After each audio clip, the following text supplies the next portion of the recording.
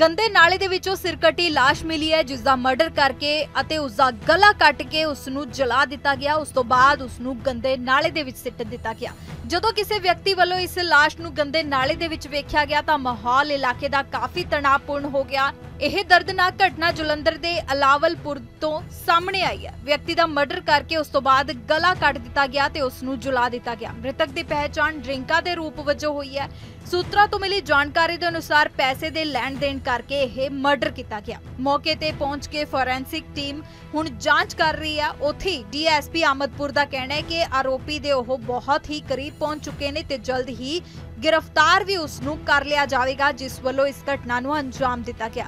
ਤਾਂ ਜਲੰਧਰ ਤੋਂ ਇਹ ਦਰਦਨਾਕ ਘਟਨਾ ਸਾਹਮਣੇ ਆਈ, ਜਿੱਥੇ ਗੰਦੇ ਨਾਲੇ ਦੇ ਵਿੱਚ ਇਸ ਵਿਅਕਤੀ ਦੀ ਸਿਰ ਕਟੀ ਲਾਸ਼ ਬਰਾਮਦ ਹੋਈ ਹੈ। ਉੱਥੇ ਪਰਿਵਾਰ ਦਾ ਰੋ ਰੋ ਕੇ ਬੁਰਾ ਹਾਲ ਹੈ ਤੇ ਪਰਿਵਾਰ ਇਨਸਾਫ ਦੀ ਗੁਹਾਰ ਲਗਾਉਂਦਾ ਨਜ਼ਰ ਆ ਰਿਹਾ ਹੈ। ਗੰਦੇ ਨਾਲੇ ਦੇ ਵਿੱਚੋਂ ਸਿਰਕਟੀ ਲਾਸ਼ ਮਿਲੀ ਹੈ, ਜਿਸ ਦਾ ਮਰਡਰ ਕਰਕੇ ਅਤੇ ਉਸ ਦਾ ਗਲਾ ਕੱਟ ਕੇ ਉਸ ਨੂੰ ਜਲਾ ਦਿੱਤਾ ਗਿਆ। ਉਸ ਤੋਂ ਬਾਅਦ ਉਸ ਨੂੰ ਗੰਦੇ ਨਾਲੇ ਦੇ ਵਿੱਚ ਸਿੱਟ ਦਿੱਤਾ ਗਿਆ। ਜਦੋਂ ਕਿਸੇ ਵਿਅਕਤੀ ਵੱਲੋਂ ਇਸ ਲਾਸ਼ ਨੂੰ ਗੰਦੇ ਨਾਲੇ ਦੇ ਵਿੱਚ ਵੇਖਿਆ ਗਿਆ ਤਾਂ ਮਾਹੌਲ ਇਲਾਕੇ ਦਾ ਕਾਫੀ ਤਣਾਅਪੂਰਨ ਹੋ ਗਿਆ। ਇਹ ਦਰਦਨਾਕ ਘਟਨਾ ਜਲੰਧਰ ਦੇ ਅਲਾਵਲਪੁਰ ਤੋਂ ਸਾਹਮਣੇ ਆਈ ਹੈ। ਵਿਅਕਤੀ ਦਾ ਮਰਡਰ ਕਰਕੇ ਉਸ ਤੋਂ ਬਾਅਦ ਗਲਾ ਕੱਟ ਦਿੱਤਾ ਗਿਆ ਤੇ ਉਸ ਨੂੰ ਜਲਾ ਦਿੱਤਾ ਗਿਆ। ਮ੍ਰਿਤਕ ਦੀ ਪਹਿਚਾਣ ਡਰਿੰਕਾ ਦੇ ਰੂਪ ਵਜੋਂ ਹੋਈ ਹੈ। ਸੂਤਰਾਂ ਤੋਂ ਮਿਲੀ ਜਾਣਕਾਰੀ ਦੇ ਅਨੁਸਾਰ ਪੈਸੇ ਦੇ ਲੈਣ ਦੇਣ ਕਰਕੇ ਇਹ ਮਰਡਰ ਕੀਤਾ ਗਿਆ। ਮੌਕੇ ਤੇ ਪਹੁੰਚ ਕੇ ਫੋਰੈਂਸਿਕ ਟੀਮ ਹੁਣ ਜਾਂਚ ਕਰ ਰਹੀ ਹੈ। ਉੱਥੇ ਡੀਐਸਪੀ ਅਹਿਮਦਪੁਰ ਦਾ ਕਹਿਣਾ ਹੈ ਕਿ ਆਰੋਪੀ ਦੇ ਉਹ ਬਹੁਤ ਹੀ ਕਰੀਬ ਪਹੁੰਚ ਚੁੱਕੇ ਨੇ ਤੇ ਜਲਦ ਹੀ ਗ੍ਰਿਫਤਾਰ ਵੀ ਉਸ ਨੂੰ ਕਰ ਲਿਆ ਜਾਵੇਗਾ, ਜਿਸ ਵੱਲੋਂ ਇਸ ਘਟਨਾ ਨੂੰ ਅੰਜਾਮ ਦਿੱਤਾ ਗਿਆ।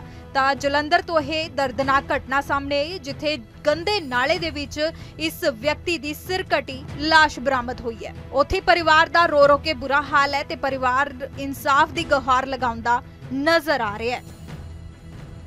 ਗੰਦੇ ਨਾਲੇ ਦੇ ਵਿੱਚੋਂ ਸਿਰਕਟੀ ਲਾਸ਼ ਮਿਲੀ ਹੈ ਜਿਸ ਦਾ ਮਰਡਰ ਕਰਕੇ ਅਤੇ ਉਸ ਦਾ ਗਲਾ ਕੱਟ ਕੇ ਉਸ ਨੂੰ ਜਲਾ ਦਿੱਤਾ ਗਿਆ। ਉਸ ਤੋਂ ਬਾਅਦ ਉਸ ਨੂੰ ਗੰਦੇ ਨਾਲੇ ਦੇ ਵਿੱਚ ਸਿੱਟ ਦਿੱਤਾ ਗਿਆ।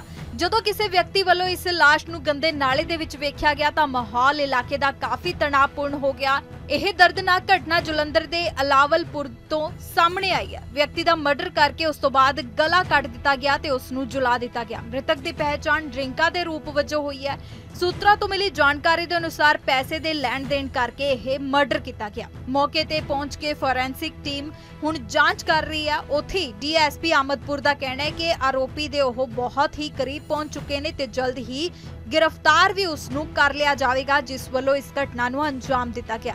ਤਾਂ ਜਲੰਧਰ ਤੋਂ ਇਹ ਦਰਦਨਾਕ ਘਟਨਾ ਸਾਹਮਣੇ ਆਈ, ਜਿੱਥੇ ਗੰਦੇ ਨਾਲੇ ਦੇ ਵਿੱਚ ਇਸ ਵਿਅਕਤੀ ਦੀ ਸਿਰ ਕਟੀ ਲਾਸ਼ ਬਰਾਮਦ ਹੋਈ ਹੈ। ਉੱਥੇ ਪਰਿਵਾਰ ਦਾ ਰੋ ਰੋ ਕੇ ਬੁਰਾ ਹਾਲ ਹੈ ਤੇ ਪਰਿਵਾਰ ਇਨਸਾਫ ਦੀ ਗੁਹਾਰ ਲਗਾਉਂਦਾ ਨਜ਼ਰ ਆ ਰਿਹਾ ਹੈ।